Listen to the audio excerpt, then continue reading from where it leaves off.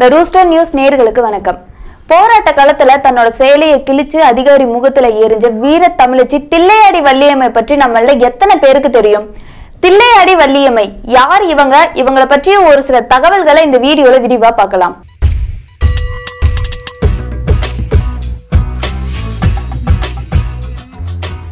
இன்னைக்கு இருக்க பதினாறு வயசு குழந்தைகளுக்கெல்லாம் என்ன தெரியும்?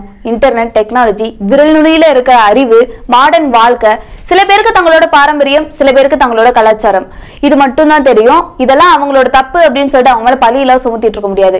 அவங்க இப்படி வளர்றதுக்கும் அவங்க இப்படி உருவாகிறதுக்கும் நம்மளும் ஒரு முக்கிய காரணமா தான் இருந்துட்டு இருக்கோம் நாகரிகம் வளர வளர வாழ்க்கை வளருது அப்படின்னு சொல்றதெல்லாம் சரியா இருக்காது. நாகரிகம் வளர்ந்து நம்மளோட வாழ்க்கையை ஆட்சி செய்யுது அப்படிங்கறதா ஒரு சரியானதா இருக்கும். இந்த நூற்றாண்டு குழந்தைகளுக்கெல்லாம் கையில ஒரு போன் இருந்தா போதும் அதுல இன்டர்நெட் இருந்தா போதும் இன்டர்நெட் கூட ஒரு கேம் இருந்தா போதும் தங்களோட வாழ்க்கையவே முடிச்சிடுறாங்க. தங்களோட வாழ்க்கையை அது கூடயே பயணம் செஞ்சு போயிட்டு இருக்காங்க ஆனா சென்ற நூற்றாண்டுல பாத்தீங்கன்னா ஒரு பதினாறு வயது இளம் பெண் தன்னோட இன் உயிரை மக்கள் நல போராட்டத்துக்காக தியாகம் பண்ணிருக்காங்கன்னு சொன்னா உங்களால நம்ப முடியுமா? நாகப்பட்டினம் மாவட்டத்தைச் சேர்ந்த மயிலாடுதுறையை அடுத்து இருக்கிற இடம் தான் தில்லையாடி. இந்த பகுதியில வசிச்சு வந்தவங்க தான் முனுசாமி மற்றும் மங்களத்தம்மாள். இந்த தம்பதியினருக்கு பிறந்த மகள் தான் தில்லையடி வள்ளியம்மை. ஆங்கிலேயர் ஆட்சியின் போது தமிழகத்துல நெசவு தொழில் செஞ்சு வந்துட்டு இருந்தாங்க தில்லையாடி வள்ளியம்மையோட குடும்பத்தினர். அவங்க சிறிய வணிக தொழில் செய்யறதுக்காக தென்னாப்பிரிக்கால இருக்க ஜோகன்ஸ்பர்க் அப்படிங்கிற ஒரு இடத்துக்கு புலம்பெயர்ந்து போறாங்க. புலம்பெயர்ந்த இடத்துல முனுசாமி மற்றும் மங்களத்தம்மாளுக்கு பிறந்த மகள் தான் தில்லையாடி வள்ளியம்மை. அங்க இருக்கிற ஒரு காலனி பெண்கள் பள்ளியில தன்னோட படிப்பை தொடர்ந்து வராங்க வள்ளியம்மை. தன்னோட குழந்தை பருவத்துல தன்னை சுற்றி நடக்கிற எல்லா சம்பவங்களையும் எல்லா நிகழ்வுகளையும் முன்னிட்டு கவனித்து வந்துட்டு இருந்தாங்க வள்ளியம்மை. இந்த மாதிரியான கொடுமைகள்லாம் ஏன் மக்களுக்கு நடந்துட்டு இருக்கு அப்படிங்கிற நிறைய கேள்விகள் அவங்க மனசுல வந்துட்டே இருந்தது. ஆங்கிலேயரோட காலனி ஆட்சியில பல கொடுமையான சட்டங்கள்லாம் பிறப்பிக்கப்பட்டுச்சு. உதாரணமா சொல்லணும்னா வரி சுமை தேவாலயத்துல நடக்கிற திருமணம் மட்டும்தான் சட்டப்படி செல்லும். இந்த மாதிரியான கொடுமையான சட்டங்கள் எல்லாம் அவங்க மக்கள் மத்தியில திணிச்சு வந்துட்டு இருந்தாங்க. இதனால ஆங்கிலேயர்கள் மீது ஒரு வெறுப்பும் கோபமும் வள்ளியமைக்கு ஏற்பட்டது அப்படின்னே சொல்லலாம். அப்ப தென்னாப்பிரிக்காவில வழக்கறிஞரா பணியாற்றி வந்தவர் தான் காந்தி. ஆங்கிலேயரோட காலனி ஆட்சியில கொண்டு வரப்பட்ட கடுமையான சட்டங்களை எதிர்த்து தொடர்ந்து அவர் போராடி வந்துட்டே இருந்தாரு. ஆங்கிலேயர்கள் மீது ஏற்கனவே இருந்த வெறுப்பினாலும் ஏற்கனவே இருந்த கோபத்தினாலும் அது மட்டும் இல்லாம காந்தியடிகள் போராட்டத்தின்பால் ஈர்க்கப்பட்டதாலும் சமுதாயத்துக்காகவும் மக்களுக்காகவும் போராட்டத்துல இறங்க ஆரம்பிக்கிறாங்க வள்ளியம்மை. ஆங்கிலேயரோட காலனி ஆட்சியில பல போராட்டங்களை செஞ்சு வந்துட்டு இருந்தாங்க வள்ளியம்மை. போராட்ட காலத்துல தைரியமா துணிச்சலுடன் முன்னாடி நின்று போராடி வந்த ஒரு வீரப்பெண் அப்படிங்கிற ஒரு பேரும் அவங்க வாங்கினாங்க. உதாரணமா ஒரு விஷயம் சொல்லணும்னா ஒரு போராட்டத்தின் போது போராட்ட காலத்துல மக்களை விரட்டுறதுக்காக ஆங்கிலேயர் காலனி ஆட்சியில இருந்த ஒரு அதிகாரி மக்களை பார்த்து நீங்க இப்ப எல்லாரும் கலைஞ்சு போகலன்னா துப்பாக்கி சூடு நடத்த வேண்டிய அவசியம் வந்துவிடும் அப்படின்னு சொல்றாரு. உடனே கூட்டத்துல இருந்த வள்ளியம்மை முன்னாடி வந்து முதல்ல நீ என்ன சுடு பார்க்கலாம் அப்படின்னு தைரியமா துணிச்சலா யோசிக்காம வந்து நின்னாங்க.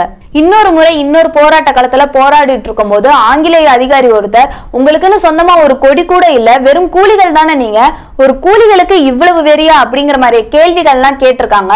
அதுக்கு கோபம் அடைந்த வள்ளியம்மை கொஞ்சம் கூட தயங்காம யோசிக்காம தான் உடுத்திருந்த சேலையை கிழிச்சு அந்த அதிகாரியோட முகத்துல எரிஞ்சு இதோ இதுதான் எங்களோட கொடி இந்தா வச்சுக்கோ அப்படின்னு அவங்க சொல்லியிருக்காங்க. ஆங்கிலேய அரசோட கொடுமையான பல சட்டங்களை எதிர்த்து போராடி வந்துட்டு இருந்த தில்லையாடி வள்ளியம்மைய கைது செஞ்சு அவங்க சிறையில அடைச்சிருக்காங்க. இதுக்கப்புறம் அப்புறம் மூன்று மாத சிறை தண்டனை இருக்கும். அபராதம் கட்டி நீ வெளியே வந்துக்கலாம் அப்படிங்கிற மாதிரியான ஒரு வாய்ப்பு ஒண்ணு முன்வைக்கிறாங்க. ஆனா இது தன்னோட சத்தியாகிரக போராட்டத்திற்கு இழுக்கு விளைவிக்கும் அப்படிங்கிற வகையில அதை அவங்க மறுத்திருக்காங்க. இதுக்கப்புறம் கொஞ்ச நாள் அவங்க சிறையிலேயே இருந்திருக்காங்க. சிறையிலேயே தன்னோட வாழ்க்கையை கழிச்சிருக்காங்க. அதுக்கப்புறம் அரசாங்கமே ஒரு கட்டத்துக்கு மேல உங்களை நாங்க வெளியே விடுறோம் உங்களை நாங்க விடுதலை செஞ்சிடறோம் அப்படின்னு சொல்லியிருக்காங்க. ஆனா தன்னோட கோரிக்கைகளை நீங்க நிறைவேற்றாம நான் இந்த இடத்த விட்டு வெளியே வரமாட்டேன் அப்படின்னு தில்லையாடி வள்ளியம்மை தெரிவிச்சிருக்காங்க. தில்லையாடி வள்ளியம்மை தன்னோட பதிமூணு வயசுல போராட்ட காலத்தை சந்திச்சவங்க பதினாறு வயசுல சிறைக்கு போனவங்க. தன்னோட இளம் வயது மற்றும் சிறையில் அனுபவித்த கொடுமைகள் மற்றும் சுகாதாரமின்மை காரணமா அவங்களோட உடல்நல குறைபாடு ஏற்பட்டிருக்கு. இதனால அவங்க ரொம்பவே நலிவடைந்த நிலைக்கு தள்ளப்பட்டிருக்காங்க.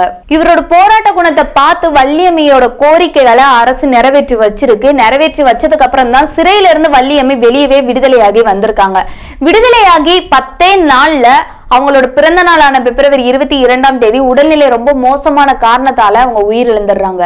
தில்லையாடி வள்ளியம்மையின் அவர்களின் மரணத்திற்கு காந்தியடிகள் அவரோட வருத்தங்களை தெரிவிச்சிருந்தாரு. மேலும் தில்லையாடி வள்ளியம்மை அவர்களோட போராட்ட குணம் மற்றும் தியாகம் சமூகத்தின் மீது அவங்க கொண்டுள்ள ஈடுபாடு மக்களின் மீது உள்ள அவங்களோட அன்பு இது எல்லாத்தையுமே நினைவுபடுத்தும் வகையில தில்லையாடி ஊர்ல அவருக்கான ஒரு நினைவு மண்டபத்தை உருவாக்கியிருக்கு தமிழக அரசு.